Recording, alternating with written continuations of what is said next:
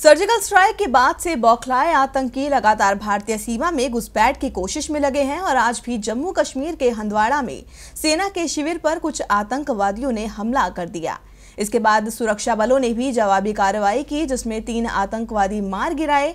बताया जा रहा है कि आतंकवादियों ने सुबह करीब पाँच बजे कुपवाड़ा ज़िले के लंगेट में सैन्य शिविर पर गोलाबारी शुरू की, जिसके बाद भारतीय जवानों ने भी कार्रवाई की। एक अधिकारी ने बताया है कि दोनों ओर से करीब पंद्रह से बीस मिनट तक गोलीबारी हुई। इस हमले में सेना के दो जवान भी घायल हुए हैं।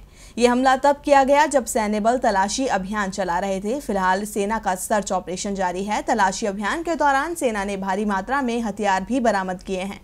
यानी कि साफ़ है कि आतंकी बड़ी वारदात को अंजाम देने की फिराक में थे, लेकिन सेना ने इनकी कोशिशों को नाकाम कर दिया। वहीं दूसरी तरफ़ सर्जिकल स्ट्राइक को लेकर पाकिस्तान का झूठ बेनकाब हो गया है।